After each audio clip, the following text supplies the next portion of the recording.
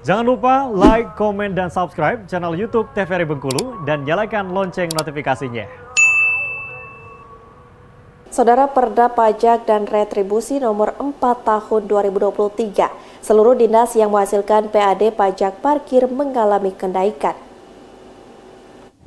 Kenaikan perda pajak untuk roda 2 sebesar Rp2.000, roda 4 Rp4.000, dan roda 6 ke atas sebesar Rp6.000.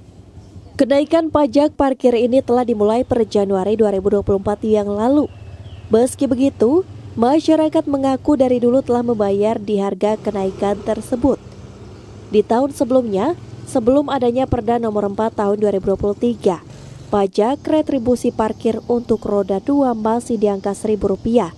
Baru awal tahun 2024 ini mengalami kenaikan 100% menjadi Rp2.000. Yang selama ini Rp1.000 untuk roda 2 menjadi Rp2.000. Itu ya.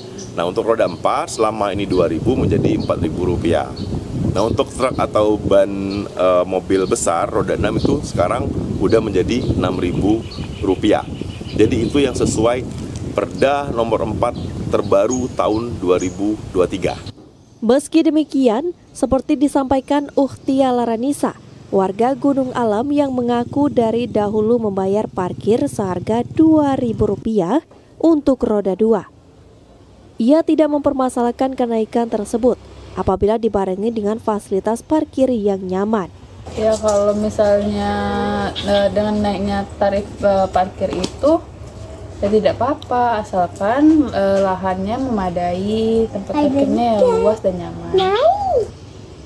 Dari Kabupaten Bengkulu Utara, Indri Asti melaporkan.